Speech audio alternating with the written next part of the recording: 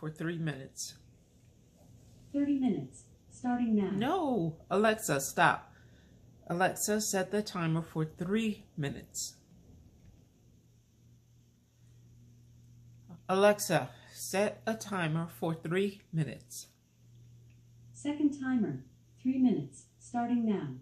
Do you want to name this timer? No.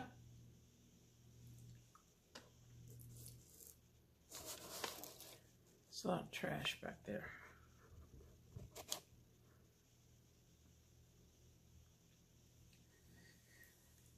Okay.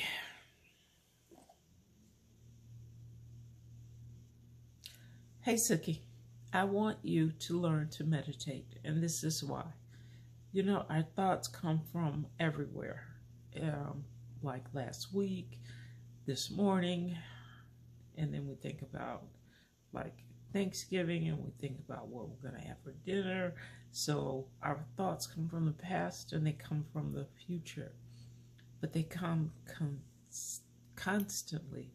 They're like, imagine, they're like rocks. Imagine that every time you have one of these thoughts, it's like somebody throwing a rock and hitting you in the head.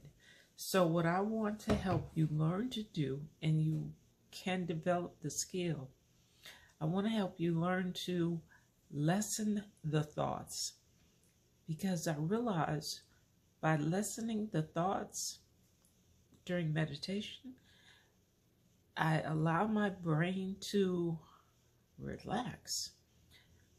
I can make the rocks stop coming. The beauty of that is my brain gets to rest.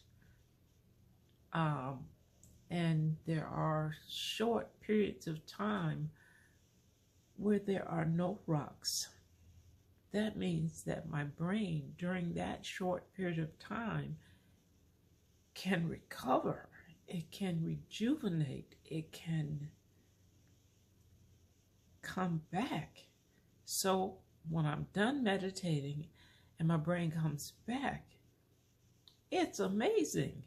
It's stronger. It's better able to handle the thoughts and the, you know, stuff to do and the surgeries I don't have surgeries, but it's better. It's better because I meditated. And you're smarter in class too.